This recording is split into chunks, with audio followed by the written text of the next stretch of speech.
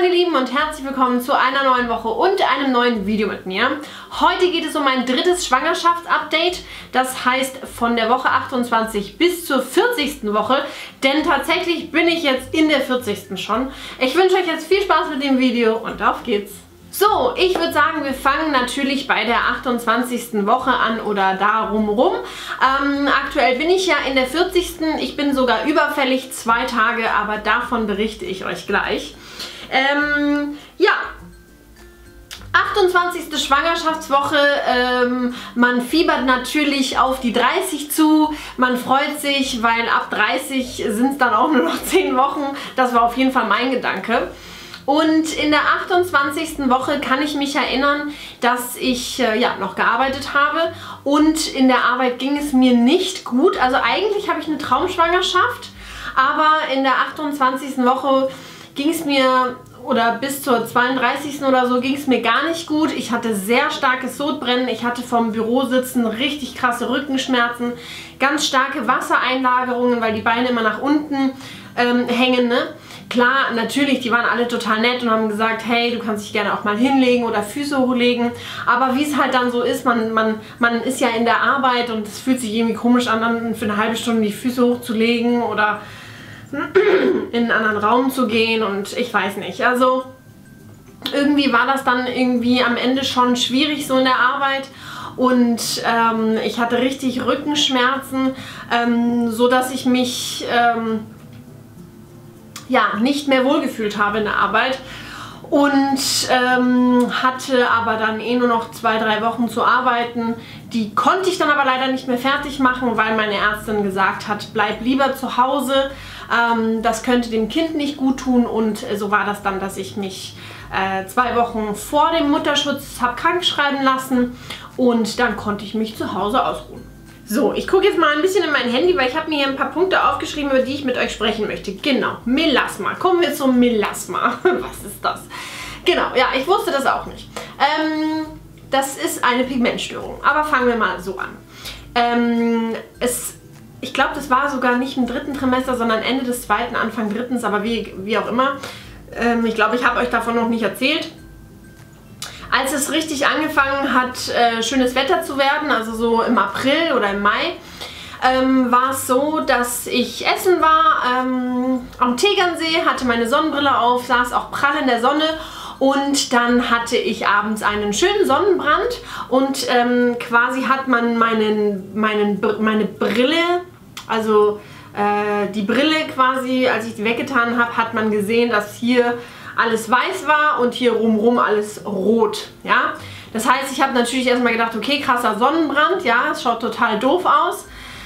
Ähm, und äh, nach ein, zwei Wochen fand ich sehr komisch, dass ich diesen Sonnenbrand immer noch habe. Ich meine, wer hat zwei Wochen den Sonnenbrand? Ja, das wurde nicht weniger. Es wurde quasi nicht mehr so rot, es wurde eher bräunlich, aber auch fleckig. Und dann habe ich mir gedacht, das ist irgendwie komisch, dass es so fleckig ist, so braunfleckig. Und dann habe ich angefangen zu googeln und habe dann von einer Krankheit gelesen, die heißt Melasma oder auch Kloasma, glaube ich heißt sie. Oder auch genannt Schwangerschaftsmaske. Das ist eine Pigmentstörung, die man in der Schwangerschaft entwickelt. Die wird ausgelöst tatsächlich durch die Sonne. Und genau da in dieser Situation befand ich mich. Das heißt, im Endeffekt ist das total doof, weil ausgelöst worden ist sie durch diese Brille, so dass ich jetzt eigentlich um die Augen rum weiß bin und überall rumrum habe ich eben diese, diese braunen Pigmentstörungen. Ähm, ich blende euch mal auf jeden Fall hier ein Foto ein, damit ihr das auch richtig seht. Ich bin jetzt geschminkt, das heißt, jetzt sieht man es nicht ganz so krass. Wenn ich näher hinkomme, sieht man es natürlich, aber ich blende es euch ein. Das heißt, ich habe jetzt überall irgendwie, es sieht aus auch wie so, wie so ähm, Sommersprossen. Und äh, jetzt gehe ich natürlich nicht mehr so gerne in die Sonne mit meinem Gesicht, weil es wird ja wieder dunkler. Also wenn ich jetzt in die Sonne gehen würde mit meiner Brille, klar mit Brille, dann wird es ja wieder dunkler und dann sieht man es natürlich wieder krasser. Das heißt, jetzt nehme ich Sonnenschutzfaktor 50 oder gehe halt gar nicht in die Sonne. Ähm, und die Ärztin hat gesagt, das geht nach der Schwangerschaft wieder weg. Aber es könnte auch sein, dass es bleibt. Es wäre natürlich sehr ärgerlich, aber es könnte sein und dann muss man das eben mit dem Hautarzt besprechen, was man da tun kann äh, und weglasern und pipapo. Aber gut. Ähm, aber diese Krankheit war mir völlig neu. Ich hatte von der noch nie gehört. Ähm, wenn ihr mal was davon gehört habt oder ihr sie selber habt, dann schreibt mir das gerne unten in die Kommentare. Mich würde das interessieren. Anscheinend haben das viele. Und viele haben es auch hier um die Lippenpartie rum. Das ist natürlich dann total ärgerlich. Ähm, ich Gott sei Dank nicht. Also ein bisschen schon, aber nicht sehr stark. Und äh, ja, auf jeden Fall so viel zu der Schwangerschaftsmaske. Vielleicht habt ihr das ja auch. Ja, auf jeden Fall habe ich die. So, meine Lieben, der nächste Punkt ist etwas total Tolles, nämlich das Kinderzimmer einzurichten. Und zwar, welche Mami, welche schwangere Mami freut sich darauf nicht? Ganz ehrlich, ich finde, das ist ab dem Zeitpunkt, wo du erfährst, dass du schwanger bist, gut, vielleicht noch ein bisschen die Gewöhnungsphase, dass du schwanger bist, ist es ist es so, dass man sich darauf freut. Man, man, man, also ich habe die letzten acht Monate davor angefangen zu googeln, mir Kinderzimmer anzugucken, die Deko, was kann ich kaufen. Und ähm, ich habe mich auf diesen Moment total gefreut, dieses Kinderzimmer einzurichten. Und ich hatte auch wirklich ganz lange Zeit, mir zu überlegen, wie, wo ich was stehen haben möchte. Ich sitze hier übrigens in diesem Kinderzimmer und äh, es ist auch schon fertig, aber das zeige ich euch in einem anderen Video, wo ich eine Roomtour mache. Ähm, genau. Aber auf jeden Fall habe ich mich total darauf gefreut. Ähm, wir haben ein drittes Zimmer. Das ist natürlich super, dass wir daraus ein Kinderzimmer machen konnten. Und ähm, hier war vorher mein Arbeitszimmer. Das musste ich aufgeben. Hätte nicht sein müssen, weil viele sagen, ja, du brauchst kein Kinderzimmer. Aber ich wollte einfach unbedingt eins haben. Ich finde das schön, wenn das Kind einfach ein Zimmer hat, wo dann die Sachen auch stehen von dem Kind. Also ähm, mir war das dann wichtiger als mein Arbeitszimmer. Und auf jeden Fall habe ich mit dem Kinderzimmer angefangen, ja, so sieben Wochen vorher, also quasi Mitte Mai. Ähm, zwei Wochen vor Beginn des Mutterschutzes. Gut, ich war krank geschrieben, aber hatte auch noch Urlaub. Ähm, aber gut. Äh, auf jeden Fall so acht Wochen, sieben Wochen vor Entbindungstermin habe ich damit angefangen. Und ganz ehrlich, das ist äh, nicht zu spät und auch nicht zu früh. Man braucht auf jeden Fall so acht Wochen, weil ähm, vielleicht möchtet ihr streichen, ja, die Wände streichen und das muss wirklich ähm, am Anfang passieren, weil das soll auch gut auslüften, damit das Kind diese Mal... Ähm, ja, diesen Gestank von dieser, von dieser Farbe nicht äh, hat oder im Kinderzimmer. Ne? Ihr wisst ja, wie das irgendwie riecht. Deswegen ist es gut, wenn man das wirklich zeitlich macht, also richtig schön vorher. Dann natürlich Möbel kaufen, die Sachen aufbauen. Das geht nicht in einem Tag. Mein Freund musste das machen. Ähm, die Sachen aufbauen und der konnte natürlich auch immer nur am Wochenende. Und äh, ja, ich habe dann unter der Woche immer so Kleinigkeiten gekauft, so kleine Deko-Sachen und so, aber Bringt ja alles nichts, wenn die Kommode nicht steht oder der Schrank nicht steht. Also im Endeffekt hat man da eben nur am Wochenende Zeit, die Sachen aufzubauen. Aber man kann sich eben schon mal vorher schlau machen, was möchte man. Oder in verschiedene Geschäfte gehen und gucken, wo gibt es denn das beste Bettchen, den besten Schrank, ja weil ähm, es gibt so viele Läden und ich bin wirklich in jeden Laden gegangen und ähm, habe viel Zeit investiert und mir alles angeschaut, bevor ich irgendwas gekauft habe, damit ich auch nicht irgendwie ähm, in die Situation gekommen bin, dass ich irgendwie in einem Laden war und dann sage ich, ach scheiße, hätte ich doch den gekauft, der gefällt mir jetzt viel besser. Also ich habe wirklich alle Läden durchgemacht. Und äh, ja, das war auch gut so. Ich bin total verliebt in mein Babyzimmer, in die Deko, in alles. Ich habe mir wirklich sehr viel Mühe gegeben, beziehungsweise wir, aber gut, die Frauen machen da natürlich, glaube ich, ein bisschen mehr. Und ähm, ja, ich freue mich, euch das in einem anderen Video zu zeigen. Auf jeden Fall würde ich euch raten, acht Wochen vorher damit anzufangen. Wer es natürlich gar nicht erwarten kann, ganz viel, kann es natürlich auch fünf Monate vorher machen, aber da es mein Arbeitszimmer war, war das irgendwie unnötig. Und ähm, ja, also Kinderzimmer im dritten Trimester macht total viel Spaß. So, der nächste Punkt ist Urlaub. Ich wollte natürlich nochmal in den Urlaub fahren. Ähm, mein Baby wird ja ein Sommerbaby, das heißt für mich ist klar, okay, der Sommer wird in München verbracht, da wo ich auch wohne. Da gibt es nichts mit Wegfahren dieses Jahr, mit Meer und keine Ahnung. Aber ich möchte auf jeden Fall vorher, bevor das Kind da ist, nochmal wegfahren.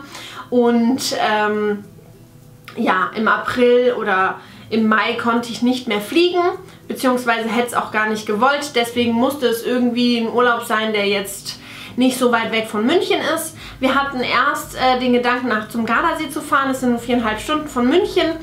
Und ähm, irgendwie habe ich mich dann doch entschieden, nach Italien zu fahren. Das waren dann fünfeinhalb Stunden Autofahrt, weil ich finde, das Klima ist einfach anders, wenn man, wenn man am Meer ist. Ja, dieser Duft vom Meer, das ist einfach was anderes.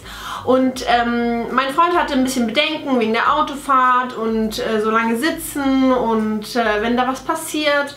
Aber ich habe ja gesagt, so zwischen vier Stunden Autofahren oder fünfeinhalb gibt es auch nicht so einen riesen Unterschied. Und außerdem, man muss einfach positiv denken und die Frauenärztin hat grünes Licht gegeben, hat gesagt, gar kein Problem. Und im Auto, mein Gott, dann muss man halt ein bisschen öfters anhalten, ein bisschen öfters, öfters anhalten und die Füße vertreten. Und man hatte immer sehr viel Angst, aber am Ende war alles super. Also die Autofahren habe ich total gut vertragen. Ähm, wir haben öfters angehalten. Es war total schön. Ich habe mich auch fit gefühlt. Wie gesagt, ich glaube, ich habe echt eine tolle Schwangerschaft. Und ich glaube, das war, ja, das war in der ersten Woche von meinem Mutterschutz. Das heißt vor sechs Wochen. Das war in der 34. Schwangerschaftswoche. Das heißt, ähm, ich finde, man kann auf jeden Fall wegfahren. Viele haben ja totale Bedenken wegzufahren. Oder ich bin in so einer Facebook-Gruppe, da diskutieren sie immer ganz oft so, kann man noch wegfahren, ähm, 30. Schwangerschaftswoche. Mai, also wenn man sich wohl fühlt und nicht so viele Probleme hat, so wie ich, glaube ich, ist das auch in der 35. Woche kein Problem. Aber das muss natürlich jeder selber wissen und äh, man muss natürlich auch selber wissen, wie man sich fühlt, wie man drauf ist.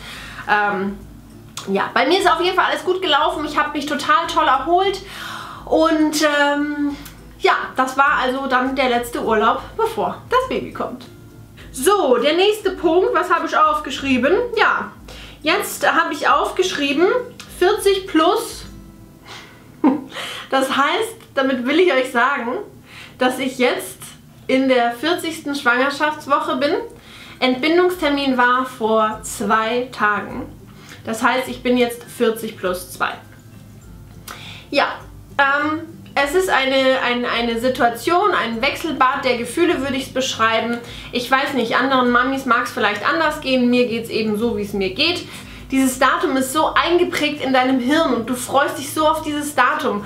Dieser Entbindungstermin, das bedeutet wirklich die Welt. Ich weiß nicht, ich, man, man zählt jeden Tag bis dahin, man, man, man, je näher der Tag rückt, hat man ja auch mehr Schiss wegen der Geburt und man freut sich und man hat Angst und es ist alles zusammen. Und dann kommt dieser Tag, dieser Entbindungstag. Er kommt, er rückt immer näher. Und es passiert nichts. Nichts, niente, gar nichts. Und irgendwie ist es so, Verzweiflung ist wirklich zu viel gesagt, traurig ist auch zu viel gesagt.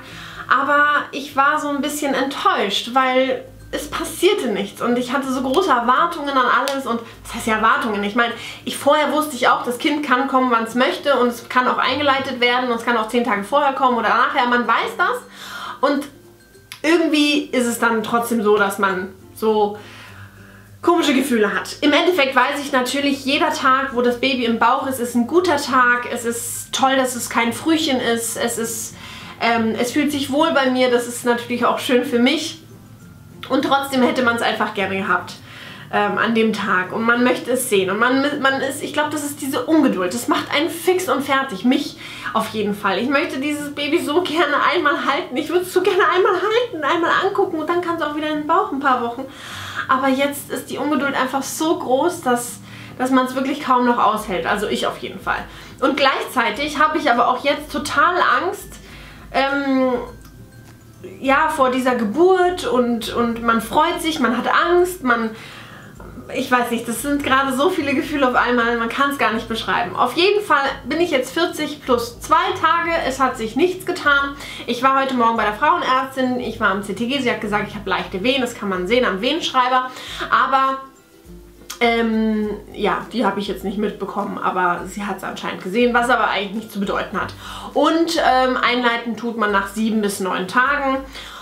Und äh, ja, jetzt steht das Wochenende vor der Tür, das heißt am Samstag soll ich mal ins Krankenhaus gehen, weil man muss jetzt jede zwei Tage ähm, zur Untersuchung, um zu gucken, ob es noch genug Fruchtwasser gibt, ob alles in Ordnung ist, weil, ähm, also es ist zwar nicht schlecht, dass das Baby noch drin ist, es ist auch gut, aber irgendwann mal muss es natürlich auch raus, weil ähm, die Plazenta arbeitet irgendwann mal nicht mehr so gut und ernährt irgendwann mal nicht mehr so gut das Kind und deswegen müssen ja die meisten Kinder auch dann schnellstens raus. Aber wie auch immer, da bin ich noch nicht. Jetzt momentan ist alles in Ordnung. Ich bin sehr, sehr, sehr, sehr, sehr ungeduldig und freue mich natürlich mega auf mein Baby und bin schon wirklich gespannt, wann es losgeht. Es ist wirklich spannend. Jeden Abend, wenn ich ins Bett gehe, denke ich, okay, vielleicht wache ich heute Nacht auf und die Fruchtblase ist geplatzt. Passiert aber nur bei 15% der Leute und ähm, ja, jeden Morgen, wenn ich dann wieder aufwache, denke ich mir, hm, nichts passiert. also man ist so seit zwei, drei Wochen auf Standby, so ähm, keine Ahnung, komisches Gefühl, aber gut. Baby geht's gut, mir geht's gut, das ist ja die Hauptsache. Ich bin glücklich ähm, und was wir natürlich alle wissen, ist, dass es auf jeden Fall kommen wird in den nächsten 10, 12 Tagen. ähm, ja, genau. Ja, so viel zu meinem Schwangerschaftsupdate, zu meinem dritten. Ich hoffe, das Video hat euch gefallen. Wenn ja, dann gebt mir gerne ein Däumchen nach oben. Abonniert auch gerne meinen Kanal, einfach Melody. Und äh, demnächst wird es eine Baby Room Tour für euch geben. Und ich zeige euch auch meinen Kinderwagen und was ich gekauft habe fürs Auto als Kindersitz. Also seid gespannt, abonniert meinen Kanal. Und wer sich fürs Kochen interessiert, darf gerne auf Kochen mit Melody vorbeischauen. Da wird jeden Montagabend gekocht. Obwohl ich jetzt sagen muss, dass ich glaube ich eine kleine Pause einlege von ein paar Wochen auf meinem Kochkanal, weil natürlich dieses Baby meine ganze Aufmerksamkeit braucht und äh, ich natürlich auch zu 100% für mein Baby da sein möchte und keine anderen Gedanken in meinem Kopf haben möchte, außer dieses Baby. Und ähm, ja, genau, ich wünsche euch was, hoffentlich bis bald und tschüss.